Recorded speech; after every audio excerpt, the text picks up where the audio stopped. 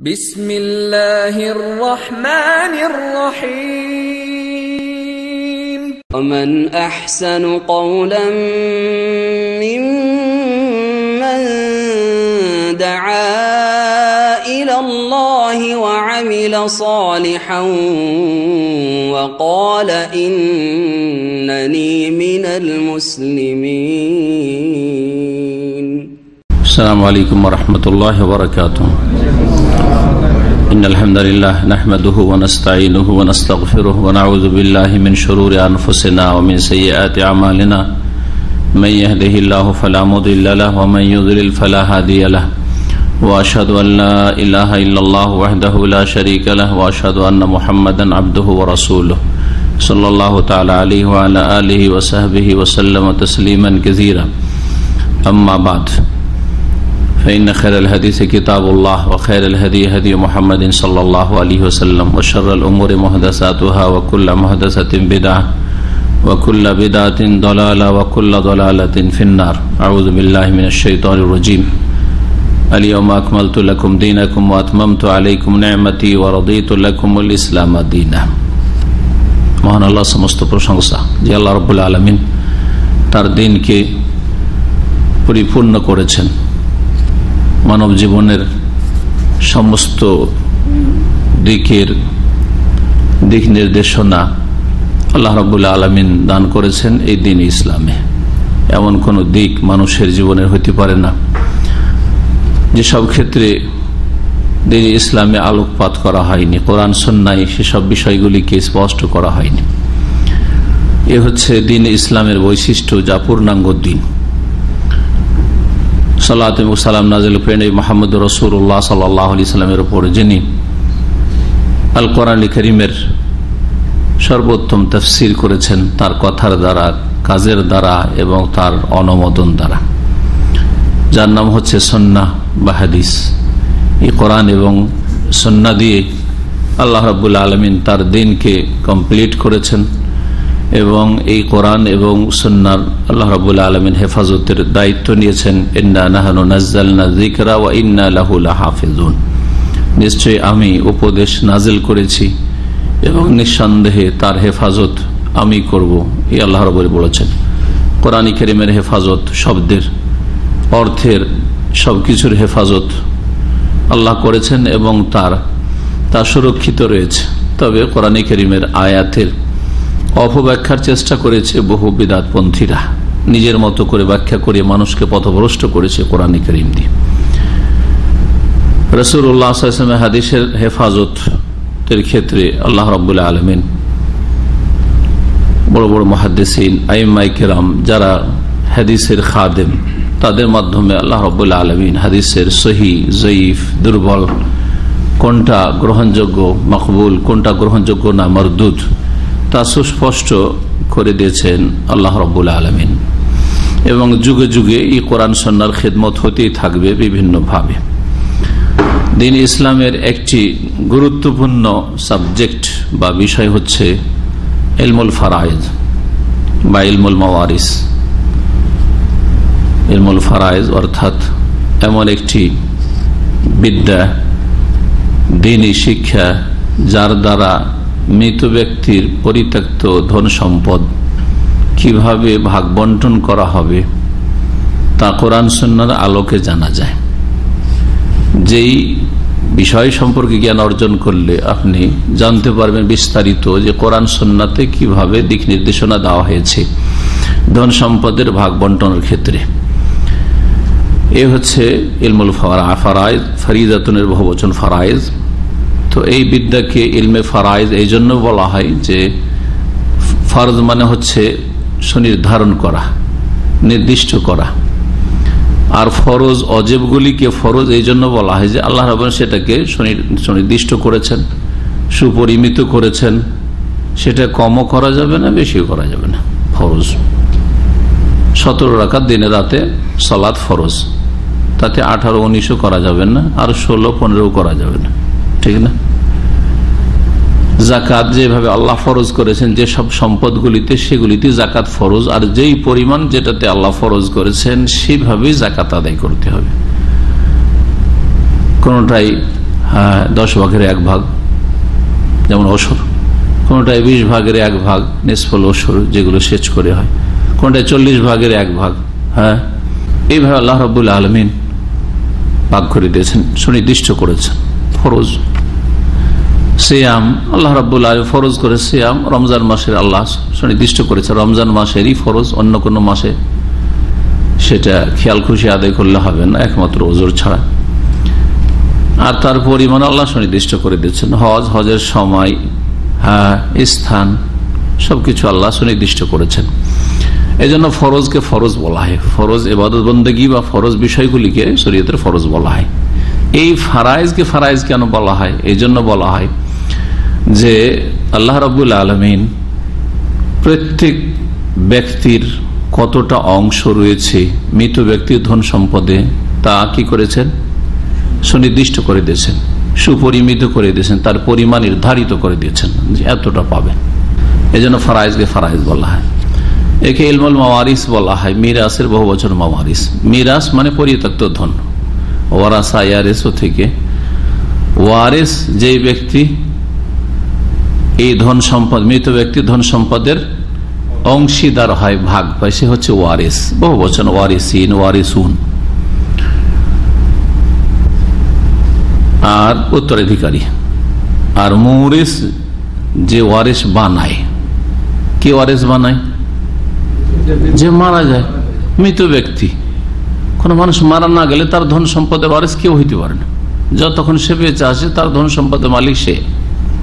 সে হচ্ছে মৌরিস মৌরিস জানলেন ওয়ারিস জানলেন আর মিরাস যে ধন সম্পদটার হ্যাঁ যে ধন সম্পদটা ছেড়ে একজন মানুষ দুনিয়া থেকে বিদায় নেই মিরাস ওয়ারিস আর মুরিস জানতে পারলেন। ফারাইজ জানতে পারলেন ফারিজত বহু বচন মাওয়ারিস মিরাসের বহু বচন তাও জানতে পারলেন। দিন ইসলাম যখন পূর্ণাঙ্গ দিন তার একটা দিক হচ্ছে যে প্রত্যেক মানুষের ব্যক্তি মালিকানা রয়েছে। আর প্রত্যেক ব্যক্তির একদিন পার্থিব জগতের সমাপ্তি রয়েছে, অর্থাৎ মত রয়েছে, মরণশীল। সুতরাং মানুষ মারা গেলে যেসব ধন সম্পদ তার ব্যক্তি মালিকানা রয়েছে, সেগুলি ছেড়ে গেলে এগুলি হকদার কে? এবং যারা হকদার, তারা কে কতটা পাবে? যদি এলোমলে ছেড়ে দেওয়া হইতো, অস্পষ্ট ছেড়ে দেওয়া হইতো, অথবা মানুষের বিবেক বিবেচনার ওপর ছেড়ে দেওয়া হইতো, তো বহু দ্বন্দ্ব, বিবাদ সৃষ্টি হইতো আর বহু রক্তপাত হইত। জি। জুলম অত্যাচার ছেয়ে যেত। আল্লাহ রাবুল আলমিন চূড়ান্ত ফয়সালার পরেও মানুষ বেইমানি করছে আত্মসাত করছে, কাউকে বঞ্চিত করছে। যেমন মেয়েদেরকে বঞ্চিত করা হচ্ছে, আজকালকার এক শ্রেণির জালেমদের বদস্বভাব বোনদেরকে বঞ্চিত করা। এইরকমই গায়ের জোরে কাউকে বঞ্চিত করা। জি। তো আল্লাহ রব্বুল আলমিন ভাগ বন্টন করে দিয়েছেন, বলছিলাম। যাতে করে মানুষের নিজের হক কার কতটা রয়েছে জানা থাকে এবং কে কতটা পাবে তাও জানা থাকে। যে পাবে সেও জানতে পারে, আর যার কাছ থেকে পাওয়া যাবে সেও জানতে পারে। এবং কেউ যাতে করে এই ক্ষেত্রে কারও ওপর জুল অত্যাচার না করে, বাড়াবাড়ি না করে, আল্লাহ রবুল আলমিন চূড়ান্ত ফয়সালা করে রেখেছেন, শুধু মানুষের পালা হচ্ছে বাস্তবায়ন করা। মানুষের ডিউটি কাজ হচ্ছে তার বাস্তবায়ন করা।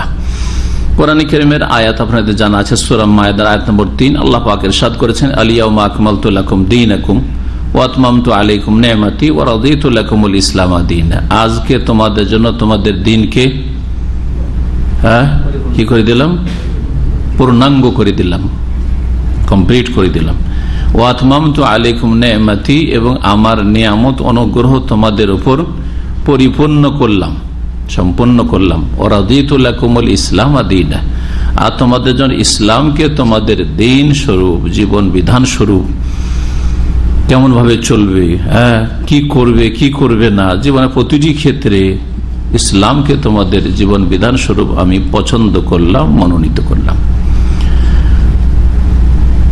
জীবনের প্রতিটি ক্ষেত্রে, ব্যক্তির ক্ষেত্রে, পরিবারের ক্ষেত্রে, সমাজের ক্ষেত্রে, অর্থের ক্ষেত্রে, সমস্ত ক্ষেত্রে। নবী মোহাম্মদ রসুল্লাহ সাল্লাহ আলী হুসাল্লামের একটি হাদিস রয়েছে ইন্নআল্লাহ কাদ আতা কুল্লাজি হাক্কিন হাক্কা। আল্লাহ রব্বুল প্রত্যেক পাওনাদারকে বা হকদারকে অধিকারীকে তার অধিকার প্রাপ্য দিয়ে দিয়েছেন। প্রত্যেক হকদারকে তার হক দিয়ে দিয়েছেন, ন্যায্য অধিকার দিয়ে দিয়েছেন। যখন কে কি পাবে না পাবে ভাগ বন্টন করে দিয়ে দিয়েছেন, ফালা ওসিয়াত ওয়ারেসিন সুতরাং যারা উত্তরাধিকারী, যারা ওয়ারিস যারা ওয়ারিস হয় কোনো মৃত ব্যক্তির। তার জন্য অতিরিক্ত ওসিয়ত করব যে আমার ছেলেকে এতটা অমুককে দিয়ে দিও, আমার মেয়েকে এতটা দিয়ে দিও, আমার বাপকে এতটা দিয়ে দিও, আমার মাকে এতটা দিয়ে দিও। এটা যেহেতু সব ওয়ারিস, জি। যারা ওয়ারিস হয় তাদের জন্য কোনো ওসিয়ত চলবে না। তাহলে ওসিয়ত চলবে কার জন্য? এমন ব্যক্তির জন্য যে আপনার ধন সম্পদে ভাগ পাবে না ধন সম্পদে হয়তো পাবে না। আর তাদেরকে কিছু দিতে চান আপনি আপনি তার হিতাকাঙ্ক্ষী অথবা সে আপনার হিতাকাঙ্ক্ষী, আপনি এক কথায় কোনো ব্যক্তি হোক, কোনো সংস্থা হোক, কোনো ইসলামিক প্রতিষ্ঠান হোক, মসজিদ হোক, মাদ্রাসা হোক, আপনি কোথাও দিতে চান, সেই ক্ষেত্রে অসিয়ত রয়েছে। কিন্তু যারা ওয়ারিস, আল্লাহ ফয়সালা করে দিয়ে দিয়েছেন ভাগ বন্টন ওদেরকে আবার অতিরিক্ত আপনি দেবেন, আল্লাহর দেওয়াতে আপনি ক্ষান্ত হইলেন না বা পছন্দ করতে পারলে এটা চলবে না। যে কথা বলতে চাই হাদিসে রয়েছে যে, কাদ আতা কুল্লাজি হাক্কিন হাক প্রত্যেক হক ওয়ালাকে আল্লাহ হক দিয়ে দিয়েছেন। আল্লাহ ফয়সালা করা আছে। জাহিলিয়াতের যুগে যে অবিচার ছিল, কাউকে বঞ্চিত করা, কাউকে দেওয়া, কাউকে না দেওয়া, বিশেষ করে মেয়েদেরকে বঞ্চিত করা, এ সমস্ত কিছু বাতিল ঘোষণা করা হয়েছে শরীয়তে এবং শরীয়তের প্রত্যেকটি বিধিবিধানকে বিষয়কে বিশদভাবে বর্ণনা করে দেওয়া হয়েছে। কোরআনে হোক অথবা সন্ন্যা হোক, সেগুলিকে সুন্দরভাবে পেশ করা হয়েছে। এই ফারাইজের কিতাবগুলিতে ফারাইজের ক্ষেত্রে। ফারাইজ সম্পর্কে আজকে দুটি বিষয়ে আলোচনা করব। আজকে ভূমিকা, এই কথাগুলি যেগুলি হলো প্রাথমিক কথা, ভূমিকা স্বরূপ। আর দুটি বিষয় উল্লেখ করব। একটি হচ্ছে যে ফারাইজের যে বিদ্যা এলমুল ফারাইজ এর ফজিলত বা মহত্ব সম্পর্কে নবী করিম সালাম কিছু বলেছেন কিনা? এ মর্মে একটি হাদিস শোনাবো। যদিও হাদিসগুলিকে হাদিসেন কেরাম যারা গবেষক, তারা জয়ীব বলেছেন। তারপরে জয়ীব বলে দিয়ে এই সাবজেক্টের ফজিলত রয়েছে। এবং এটি একটি গুরুত্বপূর্ণ এলম। আর এই এলম না জানলে বড় একটা ক্ষেত্রে অবিচার হওয়ার সম্ভাবনা রয়েছে। আপনি সবই জানছেন, আকিদার পণ্ডিত। আপনি মাসলা মসাইলের পণ্ডিত আপনি আপনি হাদিসের পণ্ডিত, কিন্তু আল্লাহর হক এর দ্বারা ঠিক রাখলেন আপনি, আকিদার দ্বারা। আপনি এবাদত বন্দীর দ্বারা রব্বুল আলমিনের হক, রবের হক ঠিক রাখলেন, তাই না? কিন্তু ফারাইজের যদি জ্ঞান না থাকে, তো মানুষের হক ঠিক রাখতে পারবেন না। এই জন্য এই রহস্যের কারণে এই বিদ্যাকে সেই হাদিসগুলির একটি হাদিসে বলা হয়েছে, নিসফুল এলম অর্ধেক এলম বলা হয়েছে। তাহলে দিনের এলমকে দুই ভাগে ভাগ করে অর্ধেক হচ্ছে আল্লাহর হক সম্পর্কীয় এলম, জ্ঞান, আর আর অর্ধেক হচ্ছে আল্লাহর বান্দাদের হক সম্পর্কীয় জ্ঞান, যার দ্বারা কে কতটা পাবে, আমার ধন সম্পদ এটা জানতে পারেন বা আমি কার কাছ থেকে কতটা পাবো। এই মর্মে তিনটি হাদিস আমাদের সামনে আছে। যদি প্রত্যেকটি হাদিসকে জয়ী বলা হয়েছে আল্লাহ আলবানিও তার কিতাবগুলিতে জয়ী বলেছেন। তারপরেও এই হাদিসগুলিকে সাধারণত যারা ফারাইজের বিদ্যা নিয়ে চর্চা করেন, তারা বর্ণনা করেন। সেজন্য অবস্থা বলে দিয়ে বর্ণনা করা যেতে পারে, কোন অসুবিধা রসুল্লাহ সাল্লামের একটি হাদিস তাল্লামুল ফারা এজা তোমরা ফারাইজ শিখো, তোমরা ফারাইজ শিখো ওয়াল্লেমুহা আর অন্যকে শিখাও, নিজেরা শিখো এবং অন্যদেরকে শিখা কারণ শিখে যদি থেকে যায় মানুষ, তাহলে সে দুনিয়া থেকে গেলে সে এলেম উঠে গেল। জি, আর এইভাবে তো এলম উঠে যাবে। কারণ ফারাইজ হচ্ছে অর্ধেক জ্ঞান, অর্ধেক এলম। এই ফারাইজ বলতে কোন ফারাইজ বোঝানো হয়েছে, এটা একটা বোঝা কথা। এই হাদিসের দুটি ব্যাখ্যা করা হয়েছে। একটা তো আমাদের সাবজেক্টের সাথে সম্পর্কিত, যে এই ফারাইজ মানে এলমুল ফারাইজ এ ধন সম্পদ ভাগ বন্টন বিদ্যা। তো এই ফারাইজ হয়ে গেল তাহলে খুব সহজ।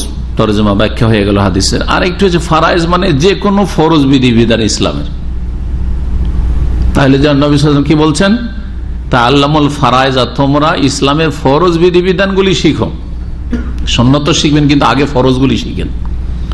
কারণ ফরজটা হচ্ছে অর্ধেক জ্ঞান। দিন ইসলামে দুই রকমের বিধিবিধান রয়েছে, হয় ফরজ আর না হলে ফারায়েজ আর না হয় মুস্তাহাব মুস্তাহাব্বাদ বা মন্দুব মুস্তাহাব যেগুলো উত্তম করলে।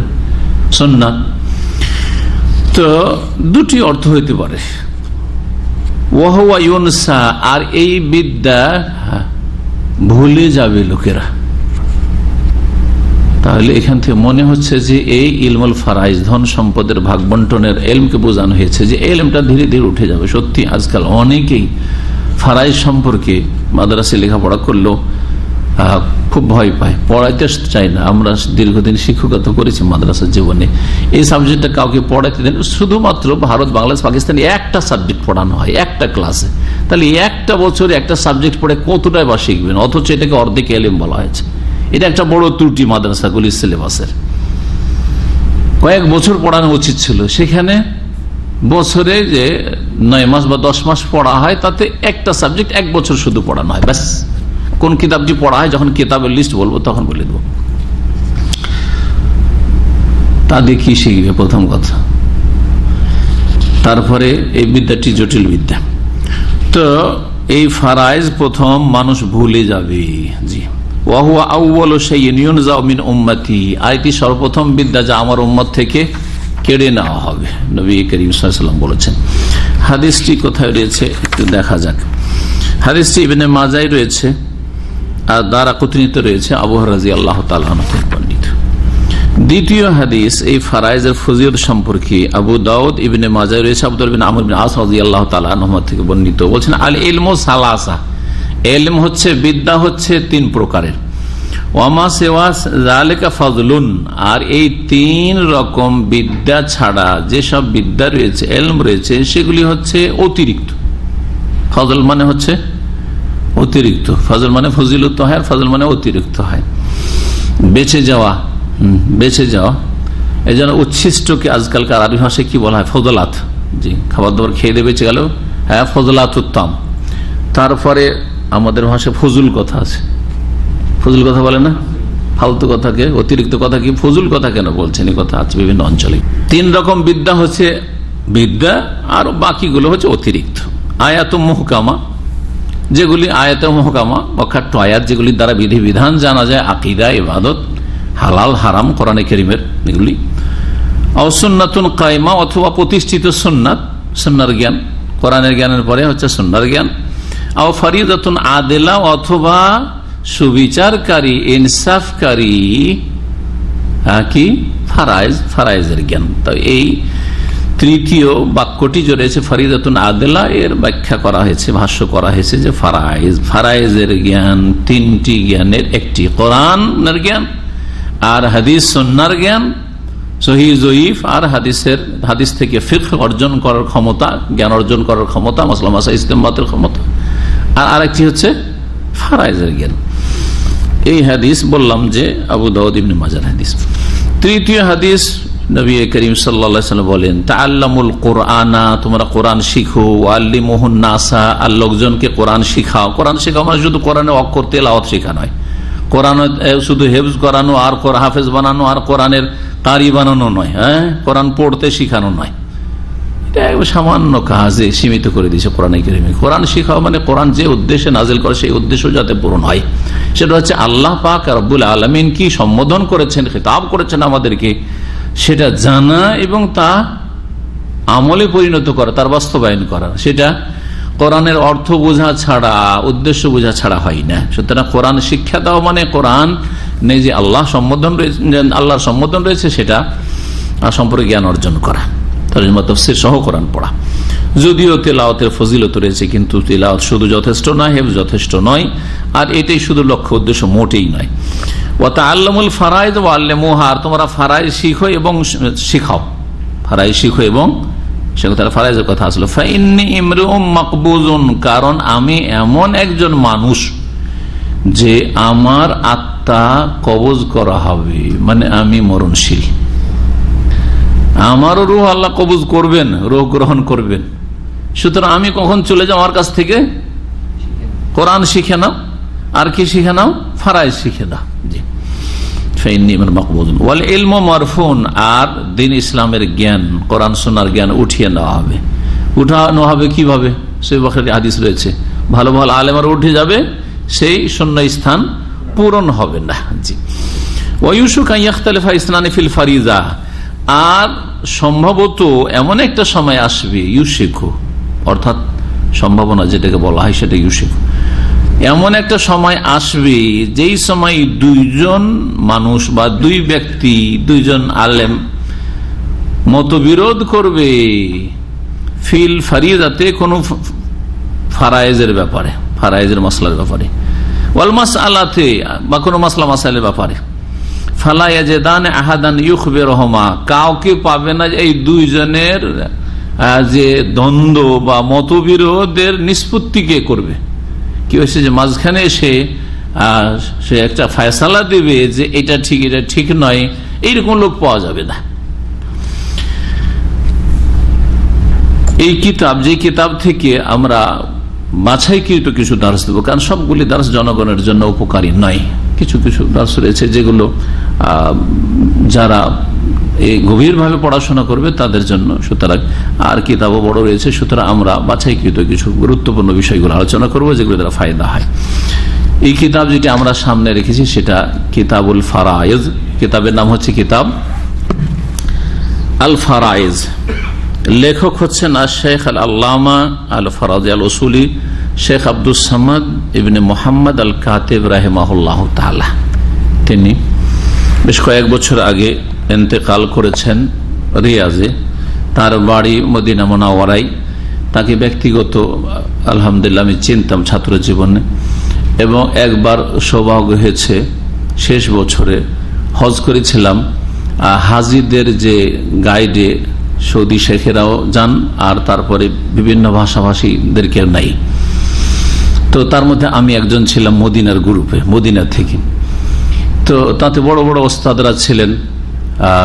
শেখ ওমর ফাল্লাতা বড় একজন আলেম মদিনার রাহেমহল্লা তিনি ইন্তেকাল করেছেন। তিনি ছিলেন, তিনি মদিনা ইউনিভার্সিটির একসময় আল আমিনুল আম মানে জেনারেল সেক্রেটারি ছিলেন, শেখ বিনবাজ রাহেমহল্লার যুগে। উনি ছিলেন মেনা আরাফাই, ওই ওই হামলাতে। আর এই শেখ আব্দুল সামাদ কাতে রাহেমহল্লা তিনি ছিলেন। আলহামদুলিল্লাহ, এই দুই শেখের কাছাকাছি, আরও শেখেরা ছিলেন, কিন্তু দুই শেখের কাছাকাছি মেনাতে আরাফাতে থেকেছি। পাশাপাশি বিছানা ছিল মেনাতে। জি, পাশাপাশি থেকেছি আরাফাতে। আর অনেক মাসলা মাসাইলে সরাসরি তাদের কাছ থেকে জেনেছি। এই লেখক মূলত ভারতের মানুষ, কেরালার এই জন্য মালিবাড়ি তাকে বলা হয়। আর তারপরে তিনি একবারে বাল্য জীবনে চলে আসেন। আর এখানে শেখ বাজের খাস ছাত্র ছিলেন। আর তারপরে সৌদি নাগরিকত্ব পান। তার ছেলে, শেখ আব্দুল সামাদ কাতেবের অনেকগুলি ছেলে ছেলে মেয়ে অনেক, চার স্ত্রী ছিল। আজকাল তো চরম অপরাধ দুটো বিয়ে করা, তো চার তো আরও বড় অপরাধ, তাই না? চার স্ত্রী ছিল। উনি বিয়ে করাতে খুব ইন্টারেস্ট রাখতেন। চার স্ত্রী ছিল। আর তার অনেকগুলি ছেলে মেয়ে, তার মধ্যে কয়েক ছেলেকে চিনতাম, আর এক ছেলে আমার ক্লাসমেট মদিনা ইউনিভার্সিটির কুলিয়াতুল হাদিস হাদিস ফ্যাকাল্টির আব্দুল ওয়াহাব বিন আব্দুল সামদ আল কাতিব আব্দুল ওয়াহাব জান, ও আমার ক্লাসমেট তো এই কিতাব থেকে আমরা আপনাদের সামনে কিছু আলোচনা করব। এই হাদিসগুলি আলোচনা করার পরে শেখ বলছেন ওয়াহাজহিল আসার ও তাদুল্লবে মাজমু ইহা আলা ফজলে হাজাল ইলমে। এই যে তিনটি হাদিস বা আসার শোনাইলাম, এই হাদিসগুলি মোটামুটি কি প্রমাণ করে যে এই এলমের এলমুল ফারাইজের কি রয়েছে? ফজিলত রয়েছে, মহত্ব রয়েছে। ওয়ালহাদ আল্লাহ তাল্লমহি আর এই এলম শিখার জন্য উৎসাহিত করা হয়েছে। মা মাহফি আসানি দেহামিন কালাম, যদিও এর এই হাদিসগুলির সনদে কিছু আপত্তি রয়েছে কালাম মানে আপত্তি রয়েছে। আপত্তিমূলক কথা রয়েছে। জি মানে রই বলা হয়েছে। তারপরে বলছে অয়ুরফ নিজামুল মাওয়ারিস ফিল ইসলাম ইলমিল ফারাইজ। যে মিরাস সম্পর্কে যে জ্ঞান অর্জন করা, নিজামুল মাওয়ারিস মিরাসের সিস্টেম, যে ধন সম্পদের ভাগ বন্টনের সিস্টেমটা ইসলামের, এটাকে ইসলামের পরিভাষায় ইলমুল ফারাইজ বলা হয়। আর এই ইলমুল ফারাইজের যুগে যুগে আইম্মাই কেরামগণ অলমাই কেরামগণ খেদমত করেছেন। ওয়াকাত আহাদ আল ওলামা সালাফান নাজমান ওয়া নাসরান আনিল মুসলিমিন খেরা বলছে যে, এই ইলমের অলমাই কেরামগণ খেদমত করেছেন প্রথম থেকে আজ পর্যন্ত, আজ অবধি। কেউ লিখেছেন, কেউ পড়িয়েছেন শিক্ষকতার মাধ্যমে, কেউ কিছু সংকলন করেছেন বিভিন্নভাবে এই সাবজেক্টের কি করেছেন? খেদমত করেছেন। এই খেদমত লিখনীগুলি দুই রকম আছে। কিছু আছে আপনার এমনি লিখনি সাধারণ, গদ্য আকারে, কিছু পদ্য আকারে। নাজম রয়েছে আর কিছু নাসার রয়েছে। দুই রকমই রয়েছে।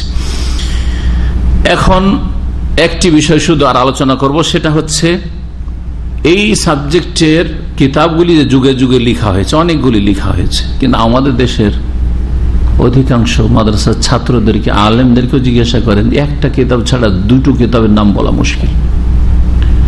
এটা কারও মানহানির জন্য বলছেন। এই এই সাবজেক্টে শুধু না ওসুল হাদিসে, মুস্তালাহুল হাদিসে, মদিনা ইউনিভার্সিটিতে যখন অ্যাডমিশন পরীক্ষা শুরু হলো, অ্যাডমিশন ইন্টারভিউ হয় একটা। তা আমার ইন্টারভিউ দেশে হয়নি, অনেকের ইন্টারভিউ ওখান থেকে এখানে আবার অবশ্য দুইবার করে ইন্টারভিউ হয়। তো দেশে ইন্টারভিউ হয়নি, আলহামদুলিল্লাহ মঞ্জুরি হয়ে গেছিল মদিনা ইউনিভার্সিটি আসার পরে ইন্টারভিউ শুরু হলো কিছু কোরআন শুনলো, একটা হাদিস শুনতে চাইলো, আয়াত যাই হোক, এই করে কিছু মাসলা, আকিদা। আমাকে জিজ্ঞেস করল যে, মুস্তালাহুল হাদিসে, উসুল হাদিসে চারটা কিতাবের নাম বলো। জানি মাত্র একটা কিতাবের নাম। পড়েছি একটা কিতাব শুধু। কিন্তু সাইডে আর এক দুটো কিতাব, ছোট্ট পুস্তিকা বলে কিতাবও না, ছোট্ট পুস্তিকা স্টাডি করেছিলাম। ছুটি বই। একটু করে নামগুলো মনে ছিল। এদের তিনটা তো টেনে টেনে পারলাম, দুটো পুস্তিকা, একটা কিতাব যেটা পড়েছিলাম। যেটা পড়েছিলাম সেটা হচ্ছে হাফেজ হাজার রহমতুল্লাহ আলের কিতাব যেটা মুস্তাল হাদিসের উপর যে আমাদের দেশে পড়ানো হয়। আর সেটা নকবাতুল ফিকির বা শাহে নকবাতুল ফিকির ওনারই সহ নকবাতুল ফিকির শাহে নকবাতুরি দুটি লিখেছেন। বা ব্যাখ্যা সহ এটা সাড়ে নকবাতুল ফিকির। এই বললাম, আর কিছু বলতে পারলাম না, জবাবটা দিতে পারলাম না, বড় আক্ষেপ লেগেছিল। পরে একটা বছর পড়ার পরে তখন পনেরোটা কিতাবের নাম জানত। একটা বছর হাদিসে পড়ার পরে পনেরোটা কিতাবের নাম জানত। কথা বুঝতে পারছেন? তো সৌদি আরবে বা মদিনা মসজিদে কিছু এলম যে আছে, যেটা আমার দেশের পড়া আলেমরা বুঝে না অনেক, যার ফলে হেও করে তুচ্ছ জ্ঞান করে, আর তারপরে যার জানা নাই, সেই ব্যক্তি বিরোধিতা করবে। যে জানেন না সে কি মূল্য দিবে বলেন? আমাকে যদি কেউ না চেনে চেহারাতে তাহলে আমার আর আপনার মাঝে কি বা পার্থক্য তার কাছে? আপনিও মানুষ, আমিও মানুষ, তাই না? কোনো পার্থক্য আছে? কোনো পার্থক্য নেই। তো এইরকম বিষয়টি আসলে। তো ফারাইজের ওপরে একটি কিতাব ছাড়া আমাদের দেশের আলেম আর তালেবেনদের বলা মুশকিল। মুশকিল একেবারে। ওই কিতাব ছাড়ার কোনো কিতাবই জানে না। জি হ্যাঁ। জানা আছে? হাফেজ সাহেব, এই কিতাবে না? না জানা নেই কারও? জি হ্যাঁ। বলব কোন কিতাবটা আমাদের দেশে পড়ানো হয়? সিরিয়ালে আছে। তিন নম্বরে। এই সাবজেক্ট উপরে যে কিতাবগুলি লেখা হয়েছে, তার একটি কিতাব হচ্ছে নাজমুর রাহবিয়া। রাহবিয়া এটা ছন্দ আকারে লেখা হয়েছে। ছন্দ, পদ্য আকার, জি। গদ্য নাই, পদ্য, ছন্দ আকারে, ছন্দ ছন্দ করে। ছন্দ ছন্দ করে ওলামারা অনেক বিদ্যা লিখেছেন। নাহু গ্রামার উপর লিখেছেন। আকিদার উপর রয়েছে। বিভিন্ন রহমতুল্লাহ আকিদা নোনিয়া, যে কাসিদা নোনিয়া রয়েছে আকিদার উপর। কারণ মানুষ গদ্যের চাইতে পদ্য মুখস্থ? কি? বেশি করতে পারে, সহজ। পদ্য মুখস্থ করা সহজ, কিন্তু যদি গদ্য, আপনারা পড়েছেন তো? যেন বাংলা সাহিত্য পড়েছেন। আপনাদের কত কবিতা মুখস্থ আছে? এখনও আমার কিছু কবিতা মুখস্থ আছে। ওই প্রাইমারি স্কুলে পড়েছি এগুলো। কিন্তু দুই লাইন যদি বলেন যে একটা যে আর্টিকেল ওতে পড়েছি, তা বলতে পারব না। তাই না? কচ্ছপের গল্প পড়েছে। আর কিসের কিসের গল্প? কিন্তু কিচ্ছু মনে নেই। তো নাজম আকারে, অর্থাৎ গদ্য, ছন্দ আকারে লিখেছেন এমাম আবু আবদুল্লাহ মোহাম্মদ ইবিন আলী ইবিন মোহাম্মদ ইবিন হোসেন আর রাহবি এই রাহবিয়া। এই রাহবিয়া কিতাবটি আরব দেশে খুব পড়ানো হয়। বিভিন্ন মসজিদগুলোতে পড়ানো হয়। যারা ভালো ছাত্র তৈরি হয়, তারা ক্লাসের সাথে সাথে মসজিদে গিয়ে পড়ে। দুই নম্বর কিতাব হচ্ছে অমদাতুকুল্লে ফারেজ ওয়াসাই আল আল মারুফা যে কিতাবের এত বড় নাম, কিন্তু সংক্ষেপে সেই কিতাব পরিচিতি লাভ করেছে আলিফিয়াতুল ফারাইজের নামে। এক হাজার লাইনের কি আছে? কবিতা আছে কবিতা আছে, যে ছন্দ ছন্দ আকারে। এক হাজার লাইনের। এই জন্য আলফিয়া, আলফ মানে কি? আলফিয়া। আলফিয়া নামে অনেক কিতাব নাহু নাহুর আলফিয়া ইবিনে মালিক। ইবিনে মালিক বড় নাহবি ছিলেন তার আলফিয়া এক হাজার লাইনের আর নহু গ্রামারের কিতাব রয়েছে। যার সারা ভাষ্য হচ্ছে ইবনে আকিল যেটা মধ্যে ইউনিভার্সিটি পড়ানো হয় বা আবুদাহুল মাসালেক যেটা আমরা পড়েছি মধ্যে ইউনিভার্সিটিতে এগুলো হচ্ছে হাই লেভেলের গ্রামারের কিতাব। আমাদের দেশের কিতাব হেদায়তন্য কাফিয়া আর যদি সাথে জামি জেনে নেয় ওরি বাপরে নাওর এমন পণ্ডিত হয়ে গেছে যে একেবারে কাউকে কিছু মনেই করেন না। অথচ আমাদের সেই কিতাবগুলি পড়ে না জানামো জানা অনেকে। ইমনে আকিলের নাম সারিবিন আকিল অথবা আউজাহুল মাসালিগুলো নামও যায় না। এই হচ্ছে কিতাব যেটা আলফিয়াতুল ফারাইজের নামে খুব মশহুর, শেখ সালিবিন হাসান আজহারির। তিন নম্বর কিতাব হচ্ছে শাহ নাজম সেরাজিয়া ফি ইলমিল ফারাইজ আর সেরাজিয়া ফি ইলমিল ফারাইজ কিতাবের নাম কি? সেরাজিয়া ফি ইলমিল ফারাইজ কিতাবের লেখক শেখ আলী ইবিন মোহাম্মদ ইবিন আলী আল জুরজানি এই এই এই কিতাবটি এমাম জুরজানির কিতাব সিরাজিয়া ফি ইলমিল ফারাইজ। এই কিতাবটি আমাদের দেশের কৌমি মাদ্রাসাতেও আহলেদিস খানাফি দেওবন্দি বেরলি সবার মাদ্রাসাতে পড়ানো হয়। আর আলিয়া মাদ্রাসাগুলিতেও কলকাতা আলিয়া, ঢাকা আলিয়াতেও পড়ানো হয় এই কিতাব। সেরাজি, যেটাকে সেরাজি বলে আমরা জানতাম। সাথে জানতাম? সেরাজি বলে এই কিতাবটি জানবে। কিতাবের নাম হচ্ছে এই একটি কিতাব শুধু জানা চার নম্বর কিতাব কিন্তু আল আজবুল ফায়জ শাহ আমদাতুল ফারিজ শেখ ইব্রাহিম আবদুল্লাহ বিন ইব্রাহিম। চার নম্বর। পাঁচ নম্বর কিতাব আতফাতুল খেরিয়া আল ফওয়াইদ সানসুরিয়া শেখ ইব্রাহিম মোহাম্মদ আহমদ আল্লাহ বাজুরিস ছয় নম্বর কিতাব আল ফয়েদুর সানসুরি আলা মনজুমতির রাহাবিয়া মাহাসিয়াতিল বাজুরি। শেখ আবদুল্লাহ বাহাউদ্দিন মোহাম্মদ আবদুল্লাহ বিন আলী আল আজমি সানসুরির কিতাব। সাত নম্বর কিতাব রিয়াজুজাহিয়া শারহমাতুন সিরাজিয়া। এই সিরাজিয়ারই আরেকটি সারহার নাম হচ্ছে আর রিয়াজুজাহিয়া মোহাম্মদ নজিব খেয়াতার। আট নম্বর কিতাব আল ফওয়াইদুল জলিয়া ফিল মাবাহিসিল ফরাজিয়া শেখ আল্লামা ইমাম আব্দুল ইজিন বাজ রহমতুল্লাহ আলের সৌদি আরবের বিগত যে প্রধান মুফতি এবং মোদী ইউনিভার্সিটির দ্বিতীয় শেখ মোহাম্মদ নাবির ইব্রাহিমের পরে বা প্রথমই বলা যেত প্রথম যিনি চ্যান্সেলর ছিলেন। তার কিতাব শেখ ইবিনে বাজের নাম আপনাদের জানা আছে রাহেমাহুল্লাহ। তার কিতাবের নাম কি বললাম? এই কিতাবটির নাম মনে রাখবেন, আল ফাওয়াইদুল জলিয়া ফিল্মা বাহিসিল ফারাজিয়া কমপক্ষে আপনাদের কাছে চার পাঁচটা নাম শুনব আর বারো তেরোটা বলব। কথা বোঝা গেছে না? তিন ভাগে রাখব। নয় নম্বর কিতাবের নাম হচ্ছে উদ্দাতুল বাহিস ফি আহকামিল মাওয়ারিস। শেখ আব্দুল আজিবিন নাসির আর রুশাইদ যে কিতাব। দশ নম্বর কিতাব হচ্ছে আত্মাহিকাতুল মারদিয়া লি শেখ সোয়ালিল ফৌজান। আত্মাহিকাতুল মারদিয়া সংক্ষেপ করে দেয় ফিল মাবাহিসিল ফারাদিয়া। এই কিতাবটি শেখ সালেহুল ফৌজান হাফিজাহুল্লাহ তালার এই কিতাবটি মদিনা ইউনিভার্সিটিতে আমরা পড়েছি। আমরা পড়েছি। এবং পুরোটা শেষ করানো হয়েছে। সৌদি আরবের বৈশিষ্ট্য, পুরো শেষ করা হয় আমাদের দেশে পুরো শেষ করা হয় না কিতাব। কিছু একটু পড়ায় জি হ্যাঁ। এই কিতাবটি আমরা পড়েছি এখানে। আর সেরাজি পড়েছি দেশে। জি। কয়টি হইল দশটা হয়ে গেছে। এগারো নম্বর কিতাব হচ্ছে, আর রায়েদ ফি ইলমিল ফারায়েজ লেখক ডক্টর মোহাম্মদ আল ঈদ আল খতরাউই। এর লেখা। কয়টি হইল এগারো, বারো নম্বর কিতাব, এখানে শেষ করে এগারোটি কিতাবের নাম উল্লেখ করেছেন। লেখক, বারো নম্বর কিতাব শেখ মোহাম্মদ বিন সালিম ওসাইম রাহেমাহুল্লার কিতাবের নাম হচ্ছে তসহিল উল ফারাইজ কিতাবের নাম হচ্ছে তসহিল আল ফারাইজ জি হ্যাঁ। এই কিতাবটি ছাপা এদেশে পাবেন সেখানে ওসাইম রহমার কিতাব। আর কয় নম্বর হলো?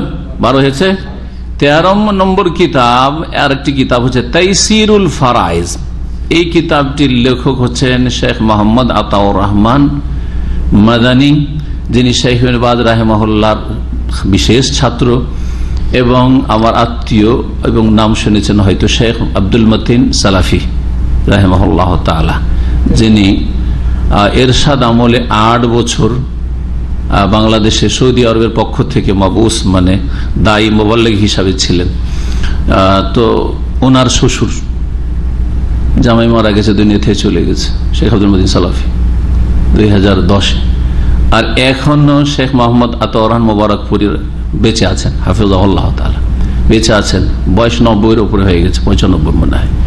এবার যে কনফারেন্স ছিল, যে কনফারেন্সে কয়েক মাস আগে গিয়েছিলাম না? তো ওই কনফারেন্সের সভাপতি ছিলেন উনি। জি জি, মুরব্বী, বৃদ্ধ মানুষ। ওনার আরব দেশে পড়তে আসার ইতিহাস আছে, যারা পুরান ছাত্র কেউ যান ছিলেন কি আপনি ওই আলোচনায়? দুই হাজার পাঁচের দিকে মনে হয় নাকি? দুই হাজার পাঁচের দিকে পুরনো সেন্টারে উনি একবার এসেছেন ভিজিটে এই ওনার একটা বক্তব্য করিয়েছিলাম। বাংলা বলতে পারেন, উর্দু, আরবি বলতে পারেন। খুব পুরাতন। হ্যাঁ? ওনার আলোচনা করিয়েছিলাম। উনি শিপে অবৈধভাবে সৌদি আরব এসে জাহাজ থেকে ঝাঁপ দিয়ে পড়তে এসেছিলেন। দুই তিন কিলোমিটার সাগরে সাঁতার কেটে তারপরে ঢুকে। তারপরে আলহামদুলিল্লাহ পড়ার চান্স পায় তো ওনার একটি কিতাবে লিখেছেন যে সমুদ্রে ঝাঁপ কীভাবে দিলাম? বিদ্যা শিখার জন্য মোদী ইউনিভার্সিটি পড়ার জন্য। প্রথম মোদী ইউনিভার্সিটির ছাত্র এরা প্রথম, দ্বিতীয় ব্যাচ এইরকম সময়ের তারা। জি। তো ওনার কিতাবের নাম বললাম কি? তাই সেরুল ফারায়েজ। কয়টি হলো? তেরোটা হয়েছে আর চোদ্দ নম্বর কিতাব এইটা সামনে কি কিতাবুল ফারায়েজ লেখক শেখ আব্দুল সামাদ মোহাম্মদ আল কাতিব এখানে আজকের আলোচনা শেষ করছি ওসল্লাহ মোহাম্মদ আলহি ওসাহি يا كريمان منه قرآن كريم ردنا القلب سطورا من ضياء